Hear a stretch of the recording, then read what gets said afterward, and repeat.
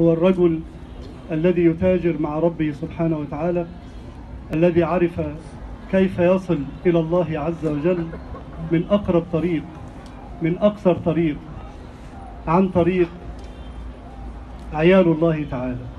حاج محمد أخذ على نفسه عهدا ألا يتأخر على أحد يحتاج إليه. إن علم هذا الأمر حوله في نفسه من فرض كفاية إلى فرض عين.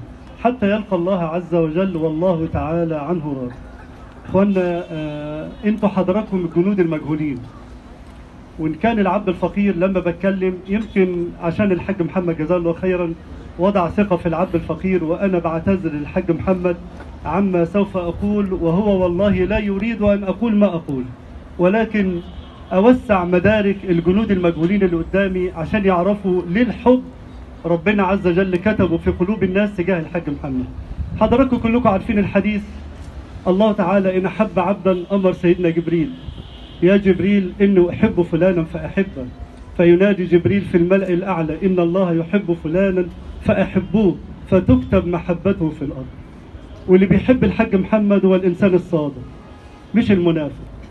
اللي بيحب الحاج محمد هو الإنسان الوطني مش الإنسان الإرهابي. واللي بيحب الحاج محمد هو الإنسان المصري الأصيل مش الإنسان المصري الفاشل.